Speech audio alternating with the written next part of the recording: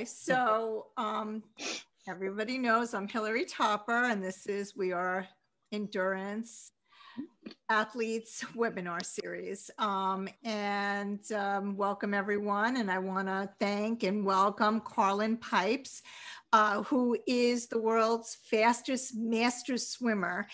and I would love, Karlyn, for you to just start off by telling us a little bit about your background and how you got there and how fast you really are. How fast I really am. Oh, but you know what? Okay, so first of all, I'll give you guys some background information. Hilary and I met when you came to one of the workshops that I set up by the Ultimate Energizer Bunny, Barb Cronin Stagnari. And then I had just recently launched a, my memoir called The Do Over. And um, Hilary was my agent. And uh, we got a lot of podcasts and a lot of exposure in some magazines. But as you know, self published books are not easy to get out there. So um, the book's still around. And uh, there we go. It's called The Do Over. All right, here we go. Here's my husband. He can chime in here. I don't know if Hilary you've ever seen this. Good morning. Good morning. So I, Christopher's from Canada. I had to import. We we don't have very good marriage prospects here on the Big Island. It's a pretty small island, so I imported from Canada. Um, so, so let me get into the swimming experience. Um, you know what, Hilary, I'd like for you to to wrap that one up because you did a good job of of um, you know my story. You know. Well, yeah, I do, but no, we want to hear from you. Um, just you know, tell us a little bit about uh, the last time that you competed um, in the Masters swimming and how you did. Okay, all right. So, well, you got to have a little bit of background. So, I swam when I was an age group swimmer, uh, quite successful as an age group swimmer. I um, was coached by uh, two time Olympic gold medalist Mike Troy, who had won a gold medal in the 60 Olympics in the 200 butterfly. So I swam in a very, very competitive team, um, which really helped me excel because when you're swimming or training with people that are better than you, you just naturally, you know, if you're at all competitive, you want to be with the first people, right? And it doesn't matter if they're older than you or younger than you or a, a boy or a girl. It's kind of like, you know, you just want to get your, your hand on the wall first.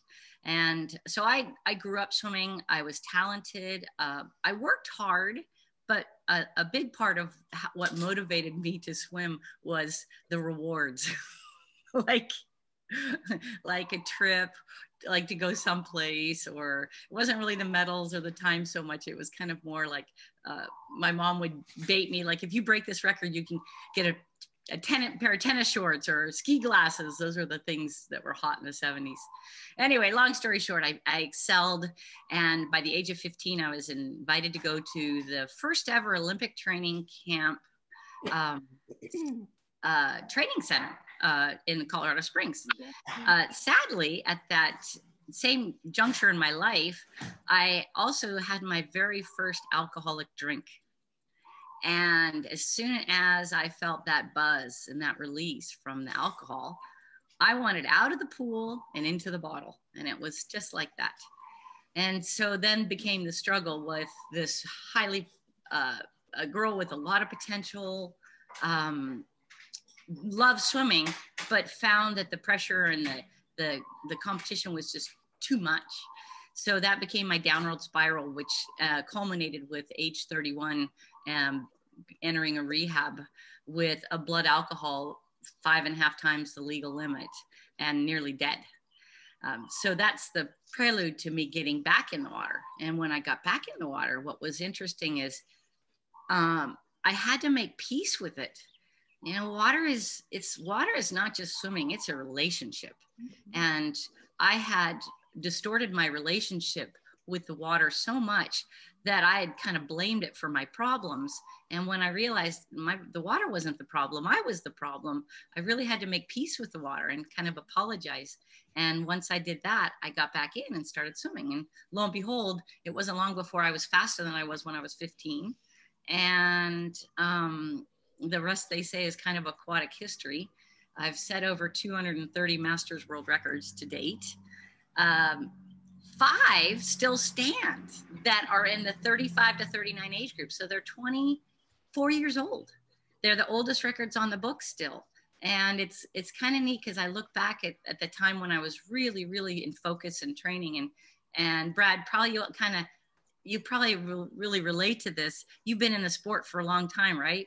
Sometimes you look back and you think about the things that you did and you go, God, how did I do that?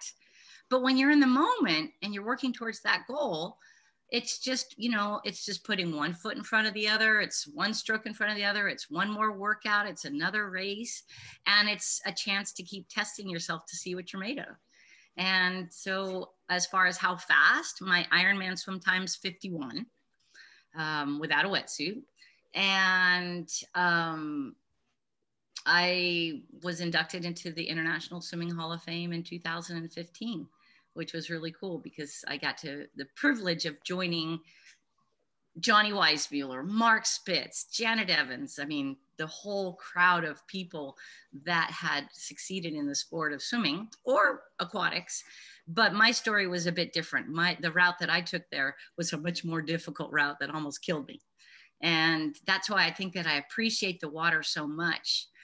Um, I also came to um, this awareness because my my dad was the alcoholic in the family.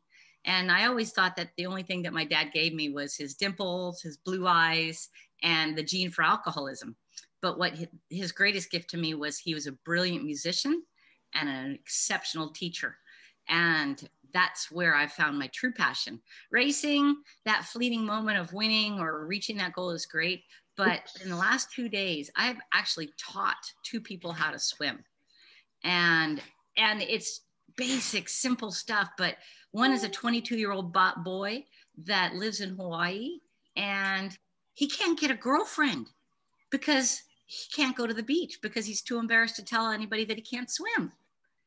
And he plops down $250 to get a swimming lesson. And I'm like, you are really serious about wanting to learn. And he was so nervous. But by the end, I had him doing laps in my endless pool, and his you know, he was like a little kid grinning from, he goes, I can do this. I said, yeah, but you've got a learner's permit.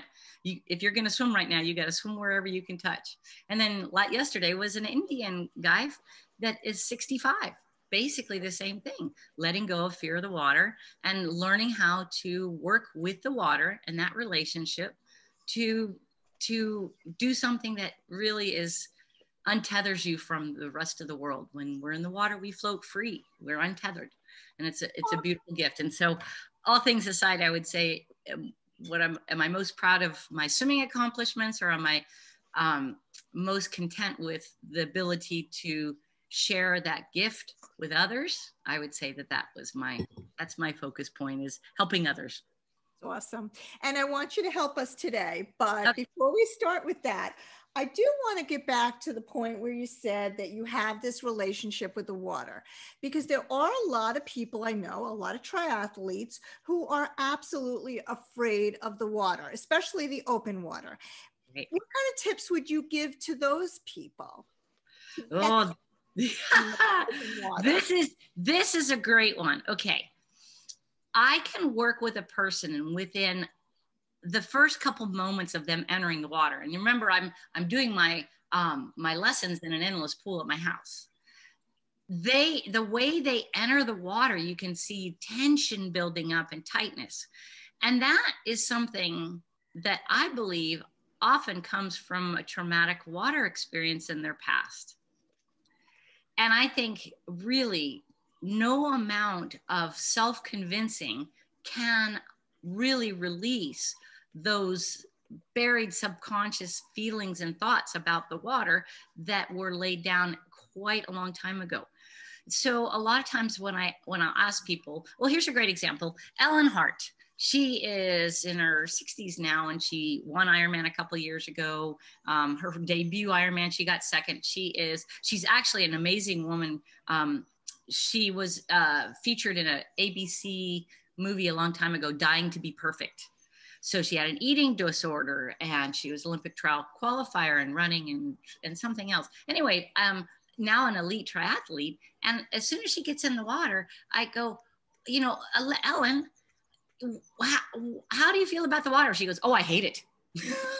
and and I could see it in her her how she moved.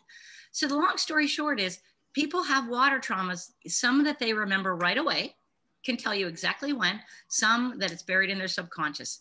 And what I recommend is going and getting some therapy because this is not going to go away. It will be triggered in stressful situations and come right to the surface. Uh, and if you can't remember something, I would recommend you talk to a parent, a sibling, um, and see if there was anything going on that you don't remember.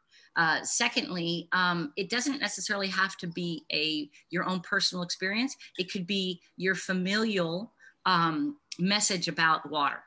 Uh, I have a client of mine who grew up on the Rio Grande. He didn't take a swimming lesson until he was 40. But you know what he did before he could swim? He signed up for Ironman Lake Placid. So I got him to, by the time he came out and did two camps in Kona, the first time he got to the halfway, um, which is, you know, 1.2 miles. And the second time he came out, he made it to the Ironman buoy and he did it. But his message in his family growing up, because they were right on the border of the Rio Grande, was don't go in the water. It's the devil. It'll kill you. So that's it, it can be so many different things it could be you know girls don't swim uh, it can be a lot a lot of different things um, but one last story on this and this is how sneaky it can be i was working with a girl who is a therapist and um, we started doing a trade and i said you know janelle i just get this feeling you just have you always feel like you have to move and when i say why this is hard is when we're in panic mode what do you start doing more you breathe often and you kick harder. And you do those two things and you are out of breath and gassed. So there's a physical reaction as you panic through your swim. And it can be triggered by a group of people. Anyway, I said, Janelle, um, I, I just think that you've had something. She goes, Nope, nope, nope. I've done a lot of work. Not came back a couple weeks later. She goes, Karlyn, I remembered my water trauma. And I said, What? She goes, I was floating down a river with a girlfriend. I was 12 years old. The inner tube flipped. We were trapped under a tree. I couldn't get up. And I went, oh, there we go. and so here is somebody who's a therapist who had buried this. And then her mom, she said that she came home from her, her little outing with her girlfriend and her mom said, how, how'd the day go? And she said, oh, I almost drowned. I'm going to my room. so she unlocked that. So my favorite saying when it comes to water trauma and your experiences, whether by a thread or a chain, a bird cannot fly. And it's worth it to invest in some uh, EMDR, eye movement rapid desensitization for uh, post traumatic stress, maybe one session, and you will be amazed at how freeing that can be.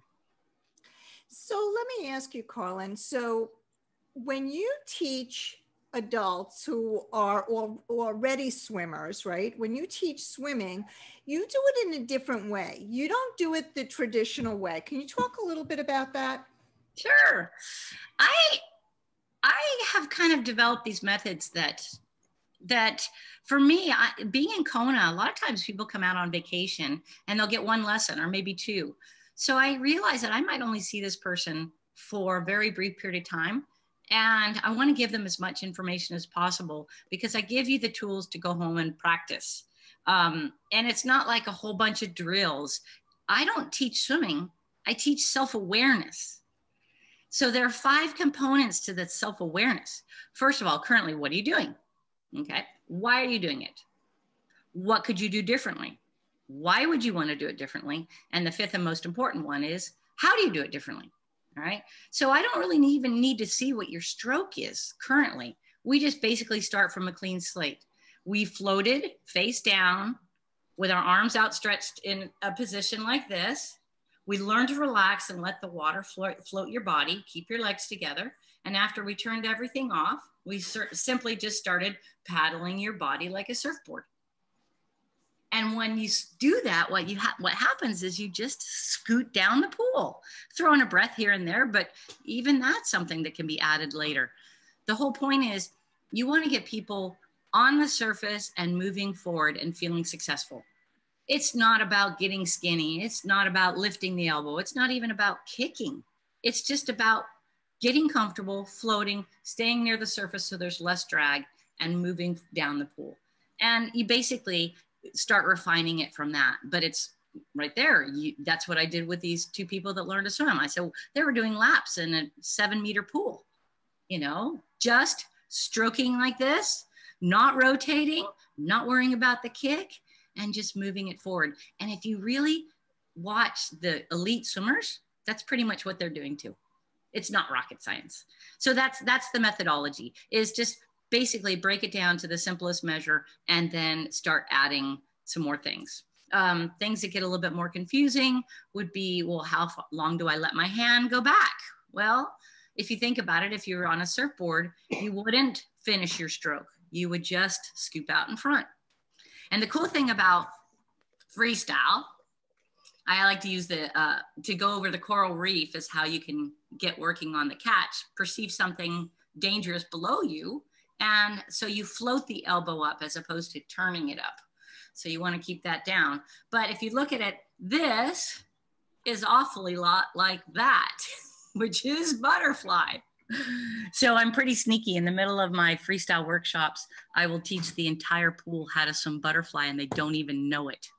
And I'll have the entire pool in less than a 25 successfully swimming butterfly. Yeah, so it's really cool. Yeah, it's and and actually the butterfly really works great for the catch because you're going to bend the elbows to do the two arms at one time and that serves you really well to set up the catch for freestyle. So so you know, yeah, i've actually been finding that tarzan does that too. Tarzan is a fabulous drill.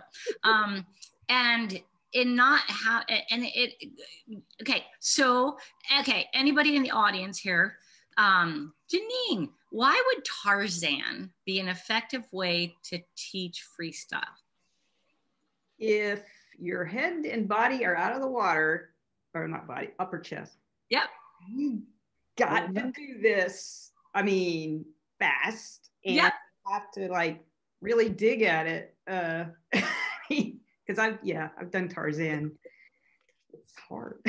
It's hard. And it's a really good catch drill. It, it, it, is so good. I think out of all of the things, when I sit there and I'm getting somebody struggling, because you my opinion is there are two places you want to stay away from in swimming. And it's exactly the same two places people tell you that you want to go. Stay away from coming into the center and stay away from the back. Both those two go together. If you finish your stroke in the back, it's going to make your hand go into the center because you're balancing. Right? If this hand's back, they're sticking here. So when we do head up water polo, what we're doing is we're making it very difficult to swim because your head's out of the water and you've upset the line of balance. So now what do we have to get? Efficient. We have to become more efficient because if we don't, we're going to drown. And honestly, this came from how ancient people swam. They probably swam with their head up. If they had the aptitude to do a breaststroke instead of a crawl stroke, they would have done that. But not everybody can do that kick that's an anatomical uh, advantage or disadvantage, so to speak. Um, so yeah, so head up water polo is the truth serum. That's the word, truth serum. Try S pulling with your head up, right?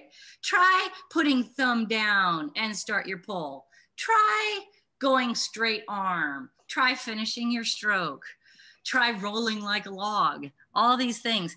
I, you, you try it like one way, try it another way, and and you compare, and it just tells you, oh, whatever is the easiest way to survive doing Tarzan is going to be the most efficient with your head down. Now I know Janine, you had a question. Sure. It was earlier. I was just going to say that I did take one of your classes in person. I thought you looked familiar. Yeah. And uh, I still glide. I I I float on the water. You know, the first thing I do when I get in the pool is float. Well, I'll say going to float about halfway across the first lap every time. That's so good. The surfboard body balance drill. I love that. Yeah. That's great. Now you get cold easy. I remember that. Are you there?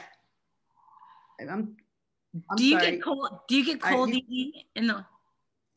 Do I get cold easy in the pool? I, I start out very cold Yeah, okay. So that's another, um, sometimes we have to look for outside influences that uh, affect our swimming ability to be relaxed in the water. Mm-hmm. And, you know, it's funny, people like I, our open water, or our pool is 71 or 72 right now. And as much as I could swim in the endless pool and I can swim in the ocean, nothing beats, you got to get the turns in. That's where you're getting a lot of core. So I just, I wear a thin wetsuit you know, because 71 is too cold for me. I I always think that you, I mean, you got to do whatever you can to stay warm. So if you're dealing with a cool, like Eisenhower can be very cold. Oh, it's freezing. yeah. So there's no harm in wearing a wetsuit. And I, I'm going to give a plug for Xterra right now. Xterra's got some thin, their Volt wetsuit is, I think, a one mil, sleeveless. Mm. I cut it off at the knee. So it looks like a speed suit and they're 59 bucks right now uh, at Xterra Outlet. Um, so, so don't be ashamed to wear a wetsuit in your training, especially if you're going to be wearing one in a triathlon. It's no big deal. Stay warm. Colin, so you had mentioned that you shouldn't go all the way back, but yeah. shouldn't you go to your hip or no? That's too far. Okay, great, great, great question. All right, I want everybody to pretend. Okay, imagine you're watching a golf swing. Yeah. All right, so Brad, I'm going to direct this to you. So Brad, um, you're doing a golf swing. How much energy hits the ball?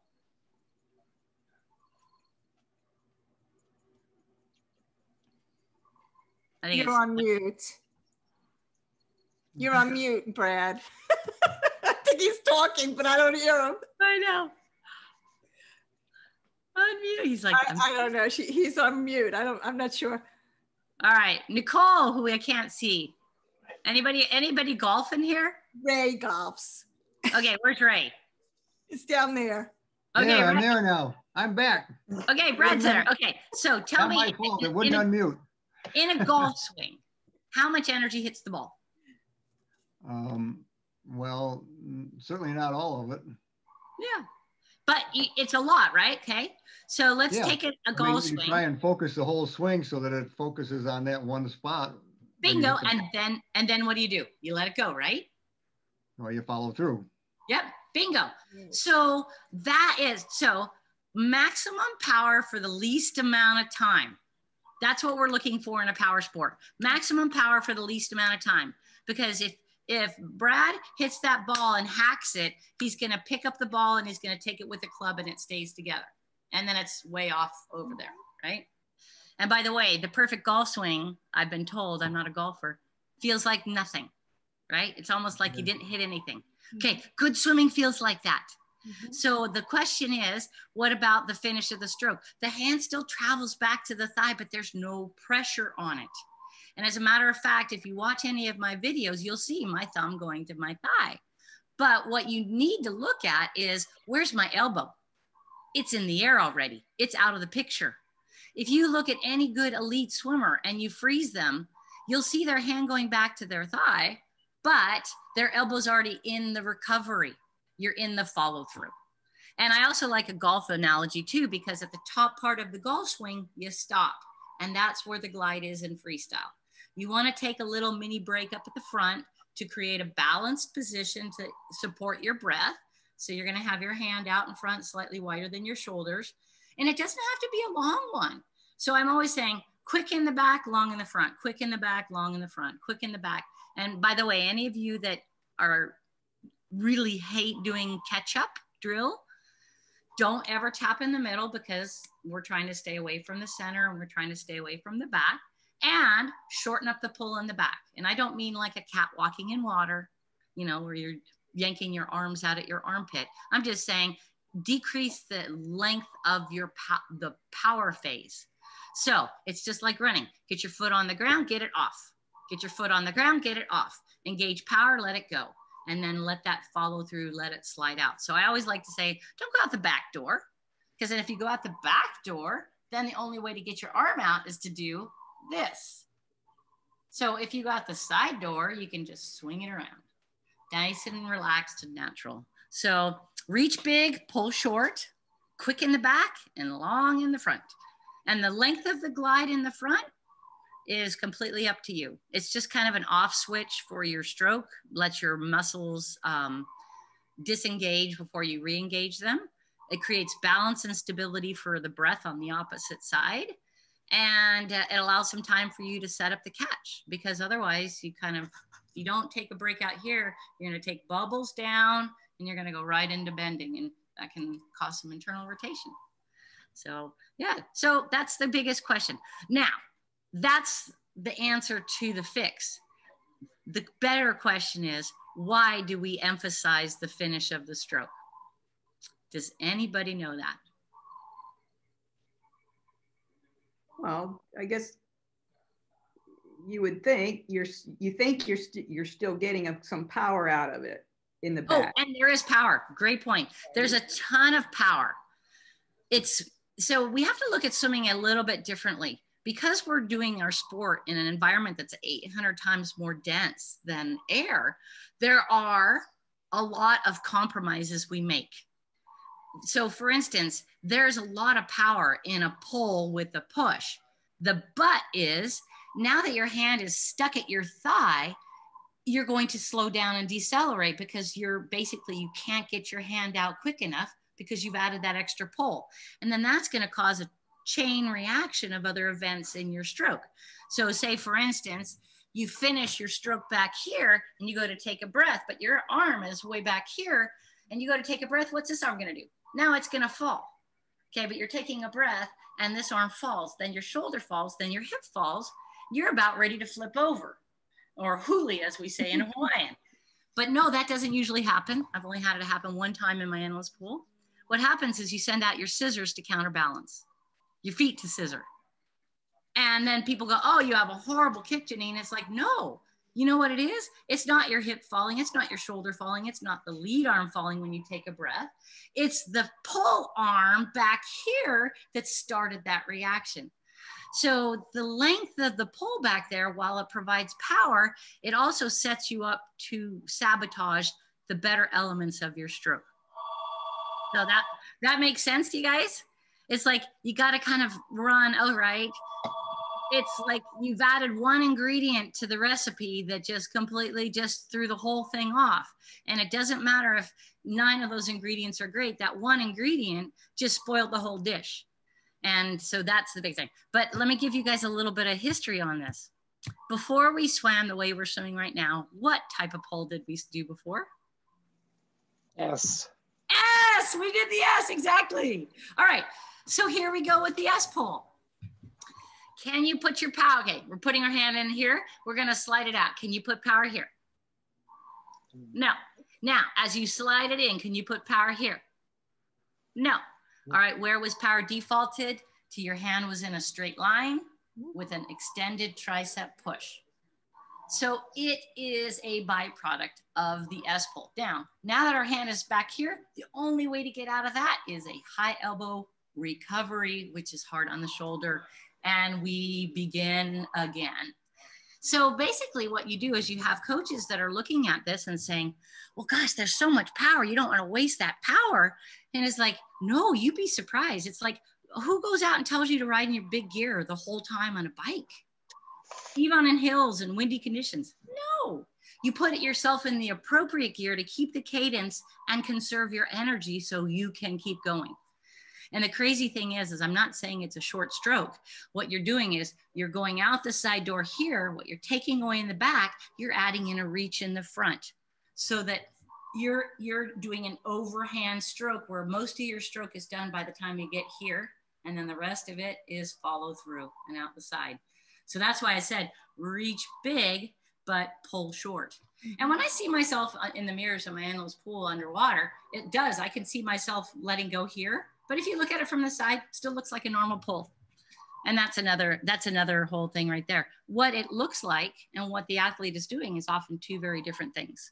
And it takes a practiced eye to see when there's a little too much or maybe a little a little too little you know so like you don't want to go short here and short here you don't want to spin out you just shift your power forward you shift everything forward same length of pull just more forward. And then the more forward you are with your stroke, the higher your hips ride and the closer your feet are to the surface. And kicking is overrated. Great S pull. I love that. yeah. Anybody? All right, Hilary, did that answer that question? Yes, absolutely. Um, I wanted to chime in and ask anybody, um, Megan, Diane, Jackie, do you guys have any questions? Yeah, I have one. So Ian, do you get no any questions. power from the, from the rotation of your body? Okay, so I, was, I started a run challenge the other day and I was thinking, okay, are you talking hip and core rotation or shoulder rotation? Shoulder. Well, Okay, who thinks, what do we think about a runner doing this? Yep. Okay, guys, this is the widest part of your body, right? You want to keep this relatively still. I call that a rock instead of a roll. Now, now total immersion and Terry Laughlin brought a lot of people into swimming and and you know he really was quite a pioneer in bringing a mainstream kind of style of swimming worldwide. The issue with the total immersion is you go, you're going after one thing, which is trying to make yourself skinnier, right? And um, everybody know what total immersion is? All right. So um, let's take a look at um, some things in the aquatic environment and see if this is actually what we want to do. Do we really want to make ourselves skinny? It, it makes sense to have less drag, but then you're very tippy. So let's take the example of uh, a submarine. Is it skinny in the front? No, it's fat in the front and it's skinny in the back. Super tankers, they have bulbs on the front, ocean going super tankers to make themselves bigger in the front and then they're more tapered in the back. And we need to emulate that model rather than if we're skinny in the front, you know what's going to happen? We're get, our legs are going to spread apart in the back, and that creates a much bigger drag and a much more energy drain. So shoulder rotation, what you want to do is your shoulders just really should come along for the ride. Eh, They're not, they really, because think about, um, do you ski? No. Okay. Any, any skiers in here? Okay. What happens to Hilary when you catch an edge? When you catch an edge, you fall. Okay. Your shoulders are your skis. Every time you drop that down, you're catching an edge and you're falling after it. And then there's going to be a consequence to that. So you really want to think about it just like in running. You want your chest moving forward and swimming. I'm not saying totally flat. It's like just let your shoulders gently rock instead of rolling. So the next time you swim, try that. Try swimming very smooth. Just think about the arms paddling the surfboard, not the whole body. Um, and then throw some roll in there. And it might feel like you're working harder, which you are, because you're basically losing your balance. Um, and then the other one will feel maybe a little bit more mechanical. Just try and be relaxed. So I think everything that we do in the water has to be actually very small because the more we do, the more the water's going to respond. And the more the water responds, usually the more work we're going to have to do. So let's minimize that to begin with, you know. Um, there's an interesting analogy I have as far as bikes and bike fitting and bike frames. Um, obviously, when you're on the bike, you're pretty tall up, right? We could theoretically have bikes that are much lower to the ground and would have a lot less resistance. But your bike and your fit is based on power, access to power. And that's the same thing with swimming. We don't worry about frontal resistance. We try and keep our balance and have access to power. Does that make sense? Mhm. Yeah, there we go. Well, so it- shoulder rotation. The, the question is, the answer is just keep, it's a rock, not a roll. You can remember that one. Anybody else?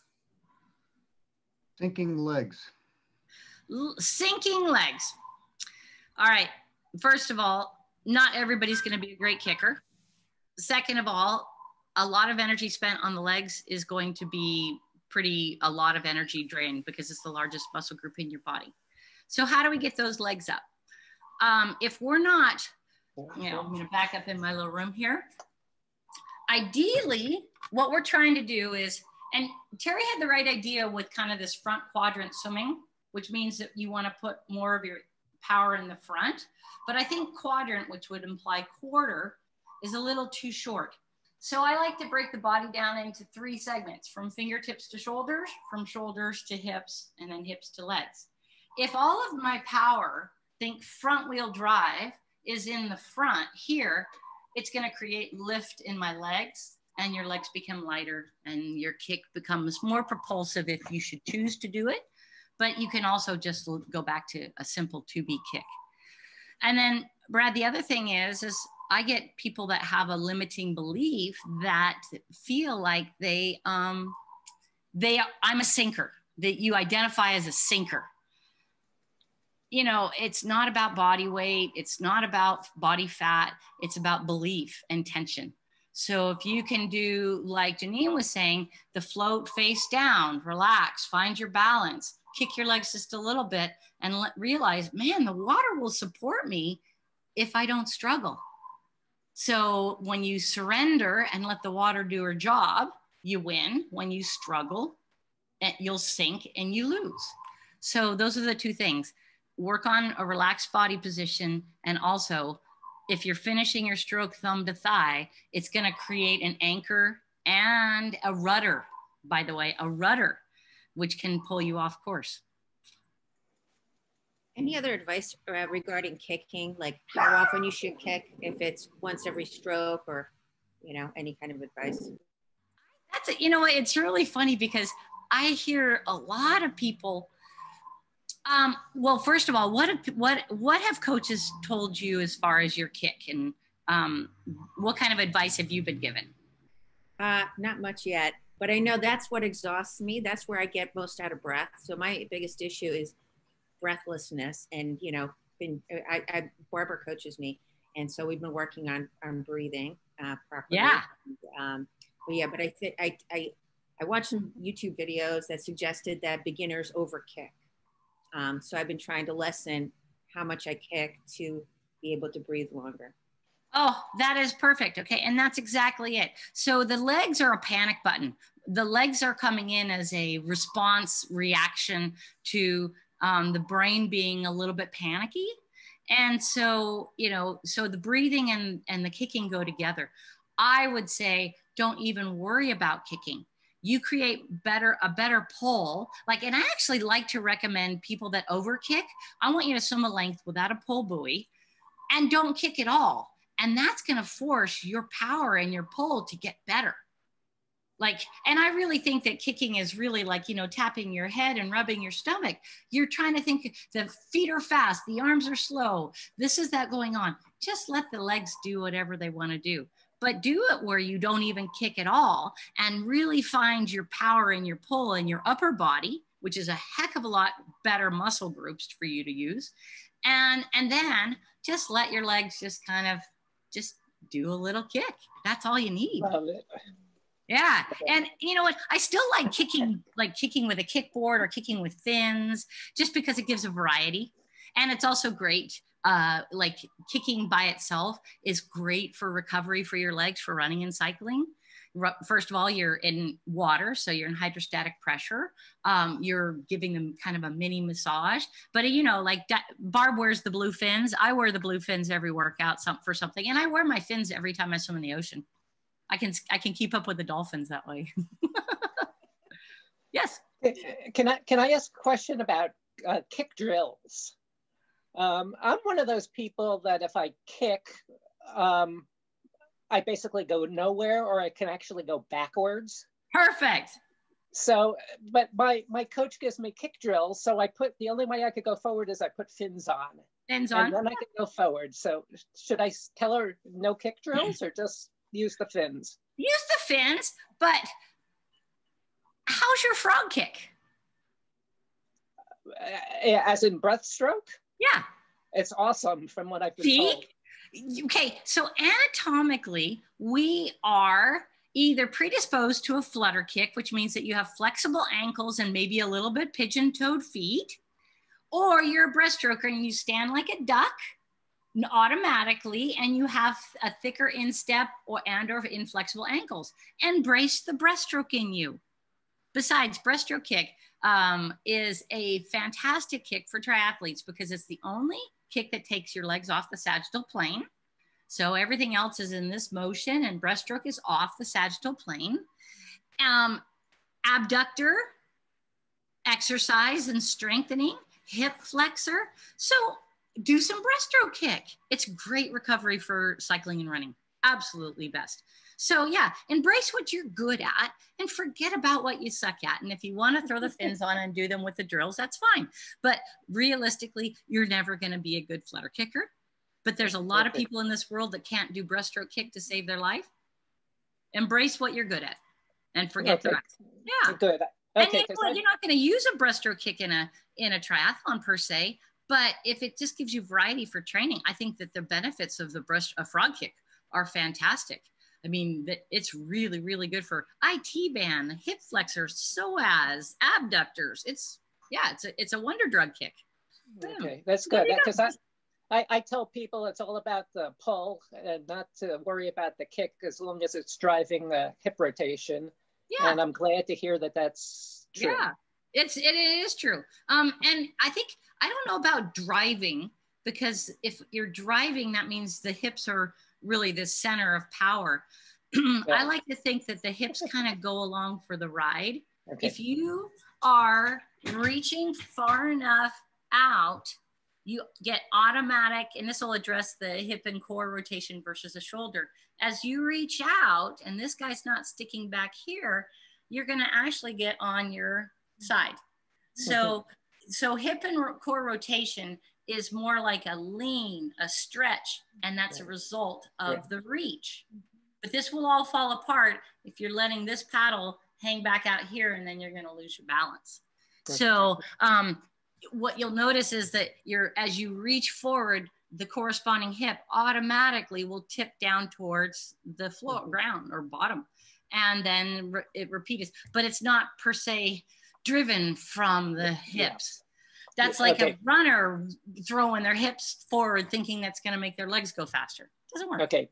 Poor Yeah. choice of words. No, but but it but it, it brought up a great point, and I appreciate that because Okay. I it there's a lot of really confusing stuff out there that people can get hung up on. You're supposed to roll your shoulders, you're supposed to snap your hips, and I'm kind of like paddle your body like a surfboard, reach big, pull short. You're good. it feels easy. It's not complicated. You feel successful. That's what the good swimmers are doing. Getting the least amount or doing the least amount and getting the most out of it. And uh, another thing that Hilary wanted to talk about was um, something that you want to run your mind through when you're working with your stroke. When you don't feel like you're doing anything, you're probably at your most productive. The less you feel in the water, the better you're swimming. Mm-hmm. The more you feel, the less efficient you're swimming because the water's coming at you and the the more it's like tailwind right you don't feel anything on a tailwind so but most people like to feel a headwind when they swim because they feel like they're productive so the less you feel the better you're swimming I mean, let's look, look at Barbara. She's got skinny little arms and she, she's this little metronome, right? In the water, moves really quickly. It's what you're not doing more so than what you're doing. Yeah. Anybody else have any questions? We've got 10 minutes left. Yeah, just to, to stay on the different strokes, do you recommend incorporating like a set of mixed strokes as a regular part of practice or? Absolutely. Um, I'm, I'm going to share a personal experience story. Uh, a friend of mine, Gordo Byrn, has these like swim, bike, run challenges. And one was, I don't know, I think I swam 50 days straight, mostly freestyle. And when I got done with that, swimming every day, at least 2K a day, mostly freestyle, mostly with fans, I got in the pool. I thought I was going to be so fit. Oh my gosh. Not only could I not turn, my core was weak. The other stroke felt awkward and my freestyle went backwards. So you need to give your body a break from all of the, the stress of freestyle, which is very forward, very rounded, right? And there's already stress in life where we're, you know, washing dishes on the computer, everything's forward. So backstroke, just take the hand, bring it out wide, slap the back of your hand on backstroke. You don't need to slice your hand all the way deep and down. Just throw this thing down, bend your elbow to the bottom, press and get out. Wear fins. Um, breaststroke, if you like to do breaststroke, great, as I was mentioning, um, great uh, stretch for your other muscles.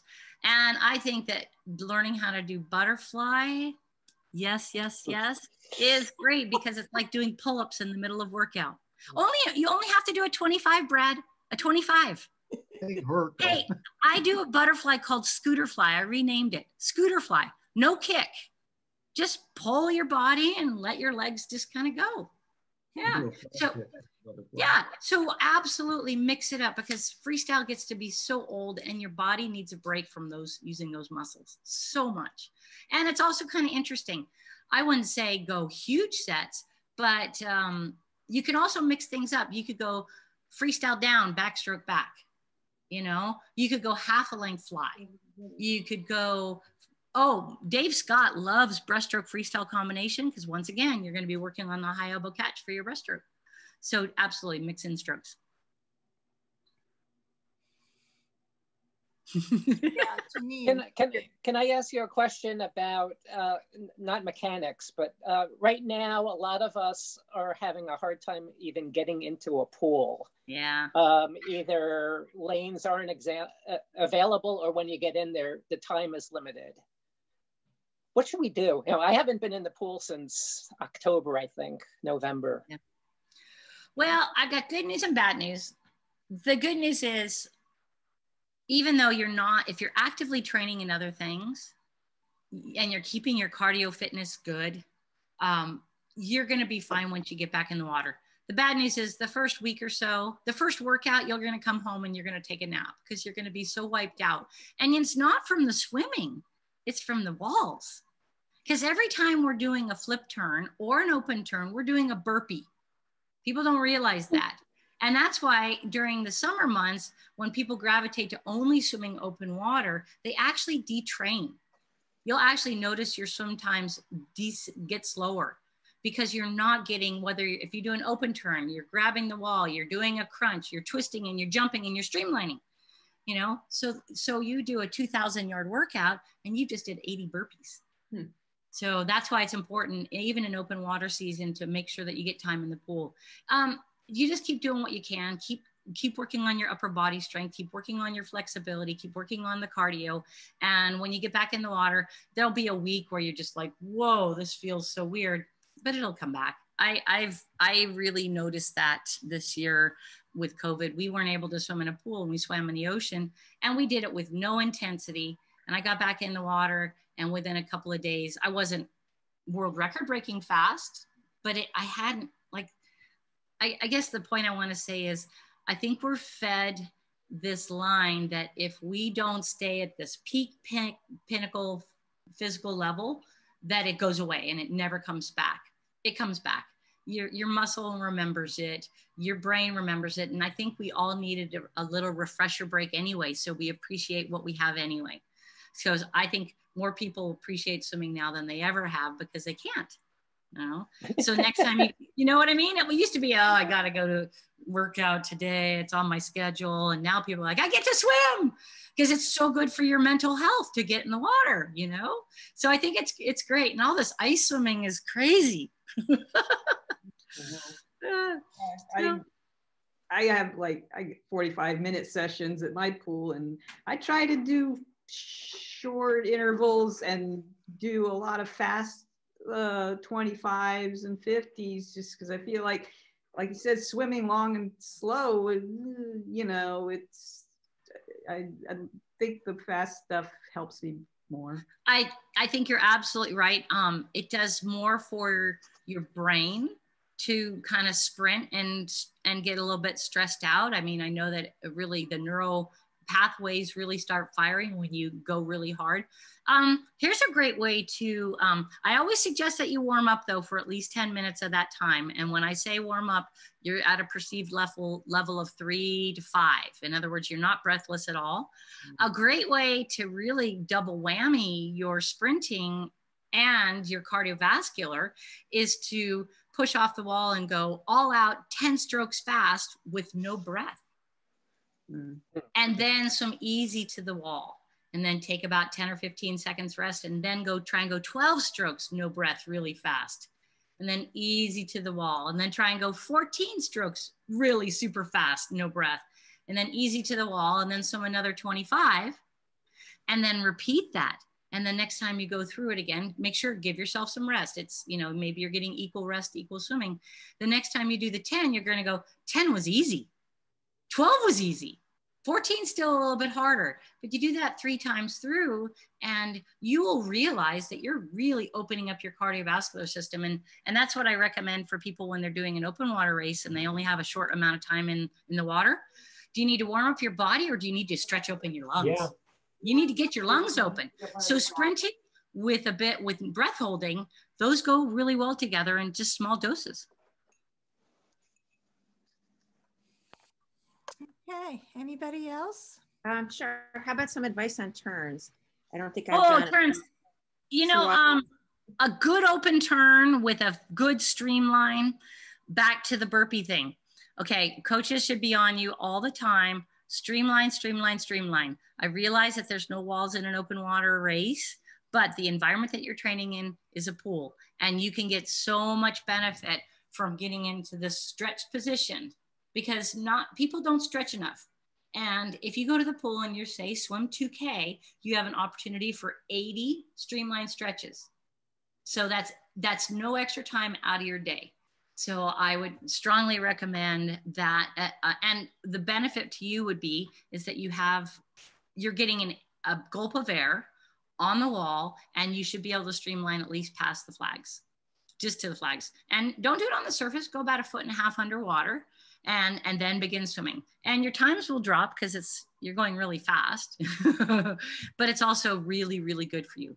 Explosive plyometric jump stretching your shoulders core psoas the whole lengthening the whole body. So um, Sheila Taormina is a really big fan of of strength and and core coming just from streamlining. So um, I swim find, do what good swimmers do yeah I find myself when I'm pushing off the wall, get I get so low to the ground. I'm like like That's what I you know, Betsy. to do that. I don't know. I'm like I feel like I'm a fish, you know, like and then I come up. Yeah, yeah. Hey, so just try not to do the down. Just you just drop underwater. You're just having fun. Yeah, You're playing. You're playing with the fishies. I am. yeah. But um, if I could summarize all of this, um, so everybody, first of all, thank you for coming and thank you, Hilary, for having me. Swimming is not rocket science. Um, it's up to you to take the information that's available out there and try it. And don't you, you can you can have something come from a very unusual source. For instance, something that really helped me understand the power phase of swimming came from reading about Usain Bolt and running. In sport, where in swimming, they emphasize power, power, power, and long power. Every other sport in the world is the briefest amount of power for the, or the most amount of power for the shortest amount of time. And when I looked at Usain Bolt, think about it. It's not about how much power he puts on the ground, it's how quickly he can get out of it. That's what makes him run that much faster than everybody else. So when you look at your power phase, and I'm not talking, so I'm suggesting you stretch, you catch, power, let go, power, let go. But if you're going power, you're now going to be manipulating all the other elements of the stroke that move you forward. So next time you're on your bike, I want you to put the big gear on and ride the whole day. Next time you're running, I want you to put your whole foot on the ground and just see, you know, and then think about that and go, yeah, it's not how much power you apply, it's how quickly you can get out of what you've applied. And then really just keep it simple. Go to the pool, take what example, whatever somebody has suggested, give it a fair try. If it makes you go faster and you feel like you're doing less, keep it. And if it doesn't, dump it. So yeah, ultimately you're the one. Yeah. Thank you so much. And you had some very nice comments in the chat area. I don't know Oh, if you had a cool. To read it. or I just took a clip of it and I'll send it to you. But thank you very much. We really appreciate it. Is and is there any way, um, you know, if anybody wants to get in touch with you or learn more about your swim program, if they make it to Hawaii? uh, karlynpipes.com. And uh, the book is available on Amazon, The Do Over. It's a great story. It has a great ending, by the way, you know. um, but um, I actually am going to be working with uh, Total Master Swimming in coming back. I'm, I'm going to be on the East Coast in April. And April 1st through like the 5th, uh, staying with Barb. And so Total Master Swimming has, hey, you guys, Omni, the Omni Pool in where's that by? Anybody been there before? Yeah, yeah, it's The by the, uh, uh, uh, by the uh, Coliseum. Exactly. They have a swimming program and it's a it's a swimming club. Not a swimming club, it's a health club. Yeah. Anyway, so if you're looking for places, so we're going to be, and I know Total Master Swimming has hours booked there, but we're going to try and do a workshop there. So um, I'll send the information once we we get it kind of finalized. And so that would be right around Easter-ish, and and maybe she's showing this the dog. yeah. So nothing beats. So karlynpipes.com. If you guys ever make it out to Hawaii, believe it or not, Alaska Airlines flies here from where you are. So uh, JFK to Seattle, Seattle to Kona. And uh, yeah, so if you're ready to fly, Once- Once we get through COVID, we're all going out your way. I know. And then the swim camp, the swim camps are amazing. It's a seven day camp. Sometimes they're five days. And uh, we just go out and swim some the most beautiful water. We have whales right now, so you can see them breaching. The dolphins are at the pier every day. It's crazy. And yeah, it's just, it's just, it's just a phenomenal experience. And the neat thing about the camps is, is uh, it includes two lessons in the endless pool with video analysis. So you're not just swimming in the ocean water. We're actually working with you on your technique throughout the whole week while we're enjoying these beautiful locations. So yeah. Wonderful. All right, well, great. Well, send me information on that too. I'll send it out to the group. And um, thank you very much, Karlyn. We appreciate your time today. Okay, does everybody want to go swim right now? Yes. Yeah. Oh, wait, wait, one last final thing. You don't need expert video analysis.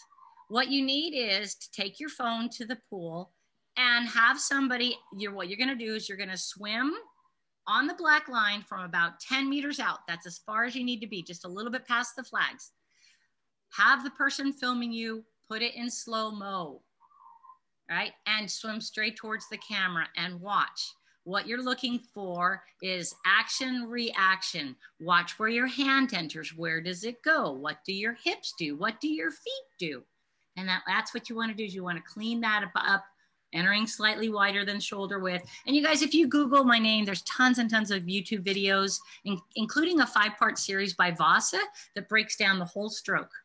Um, so, so yeah, just try that and then compare the other ways, right? Swim wide, swim narrow. Go back to wider. This is too wide, by the way. You don't want to go outside your center line. Widest mm-hmm. part is here. But watch yourself. And then another video that's really interesting to see is do the same thing, but not in slow mo, swimming away, because your feet will tell the story of what's going on in your pool. Thank you. Right? Pretty simple. This was wonderful. Thank you so much. Thank Really- you guys. Have a great day. I'm going to go swim in the ocean. Don't hate me. Oh, we're jealous. All right, everyone. Have a great day. Bye. Awesome. Thank Thanks. you. Thank you.